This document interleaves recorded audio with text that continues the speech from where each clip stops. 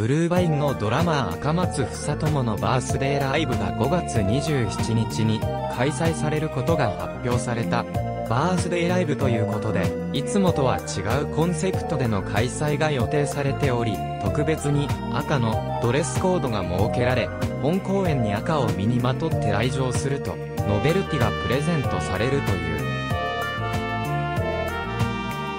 別に、サンタクロースのような真っ赤な服に包む必要もなく、カラコンやネイル、イヤリングなど、ワンポイントでも赤いアイテムを身につけてもらえれば、OK だ。場所は青山リサムにて、チケットは4月13日より販売開始となる。ブルーバインプレゼンツ赤松房友バースデーライブ2020